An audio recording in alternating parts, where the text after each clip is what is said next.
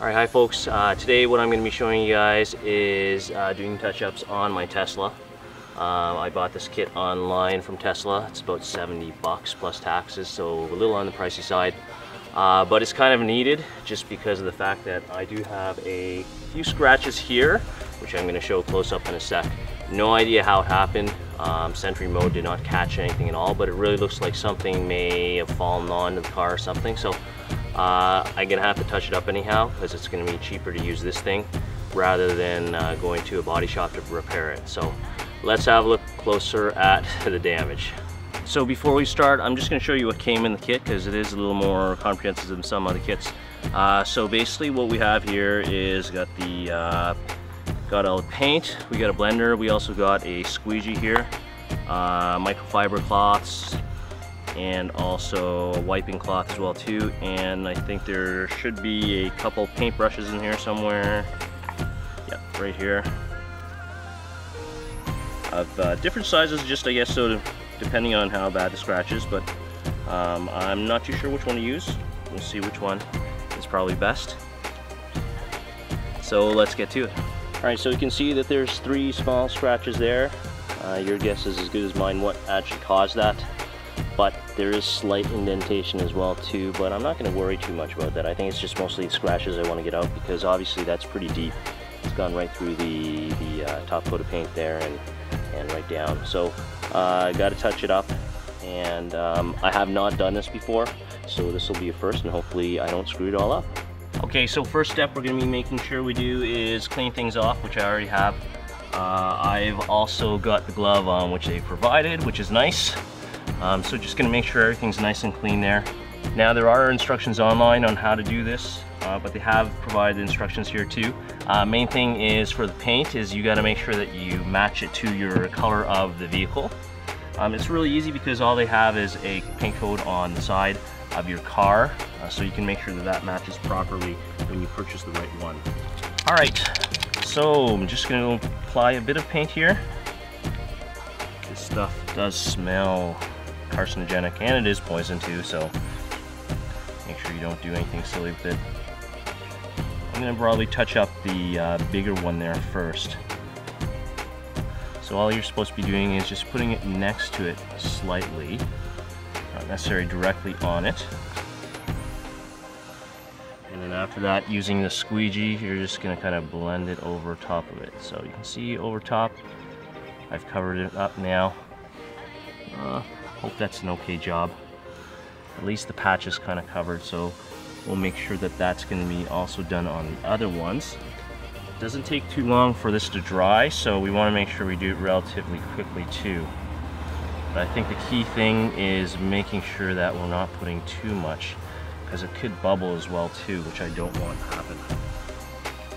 I've seen a lot of bad touch-up jobs where it's basically bubbled over top of it, so squeegee here will help a bit.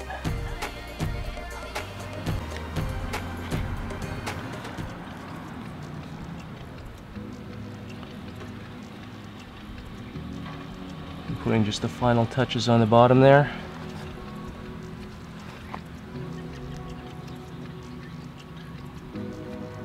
Now this stuff is getting a little sticky, so I want to make sure I'm going to work a little faster. And because the way it is on the edge there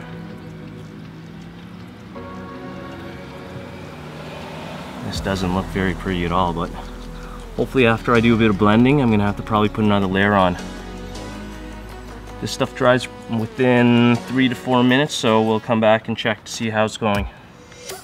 Okay so it's been about three or four minutes. The paint has dried up. See it's no problem there uh, one of the things that most other kits don't have is this blending solution. So this is gonna hopefully clean off all that extra stuff that I put around there that was not very nicely put in. So just gonna use a bit of moistening here and rub around the sides. And you can basically see that it is kind of coming off pretty easily. I'm doing it just so that we can make sure that it's not gonna obviously go within the crack itself because that's the important part that we want to make sure that stays there. So This is actually working incredibly well compared to a lot of the other ones I've seen before.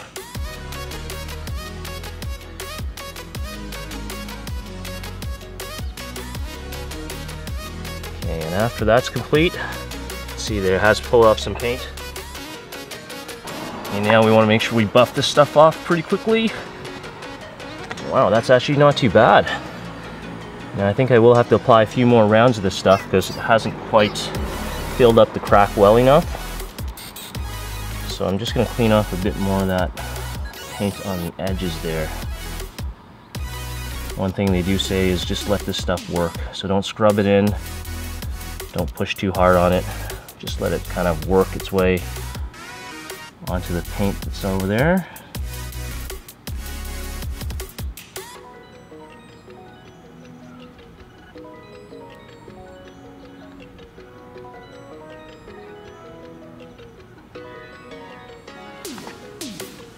Buff it away again. Well, it's filled up the color, but uh, definitely can see the scratches are still there. So I'm gonna wait a bit and I'm gonna try a few more rounds of this on top so that I can see if I can get rid of those scratches completely.